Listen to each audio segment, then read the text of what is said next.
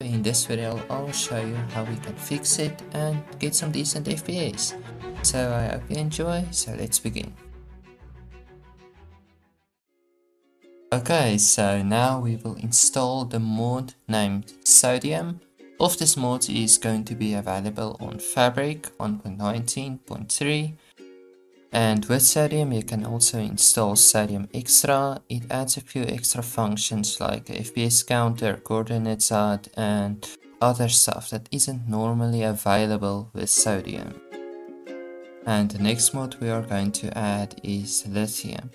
It changes some technical stuff in Minecraft or um, server engine but it helps to improve the smoothness and responsiveness in the game and with that we can install the mod named LazyDFU.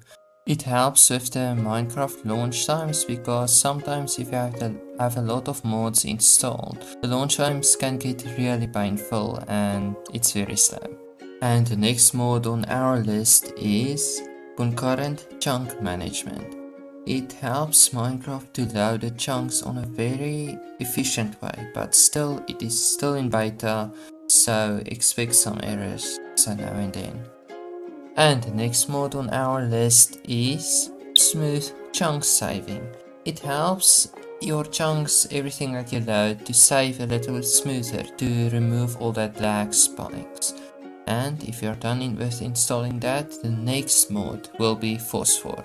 It helps with the lighting engine so that everything is a little bit less intensive on your PC, the light updates and so on. And if you had enjoyed this video, it would be nice if you can subscribe, it would help me a lot. And as you can see here, the FPS has greatly increased, but not only that, the responsiveness, the loading times of the game is also very fast. And this is it, and see you next time, bye!